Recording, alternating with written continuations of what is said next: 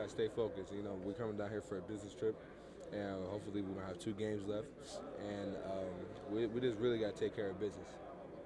Everybody talks about where you guys are at physically, mentally at this point. Where are you physically right now? How's the hand?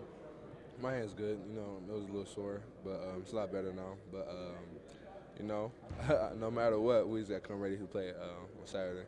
How much does that go into it? I mean, when people talk about a team where they're at this far into a season, nobody's 100%. So how much do you even just throw all of that out the window when you start preparing for this week? Usually, you got to be the tougher team to win it all. So um, we're just gonna try to be a tougher team on and off the court, and um, you know, do our best to pull it together, stay mentally strong and physically strong. What's it been like on campus? It's been crazy. You know, it's been a great environment, a very, uh, very exciting time for us. Do you look up at, at the Final Four banners at all this week and, and, imagine that 2019 Final Four banner up there? Well, you know, um, hopefully it's not just uh, 20, uh, a Final Four banner. Hopefully it's a national championship banner. You know, but um, we're just gonna stay focused, one game at a time. You know, we're gonna hang the banner up after the season, which is gonna be exciting. But uh, you know, we're just gonna take care of business this weekend.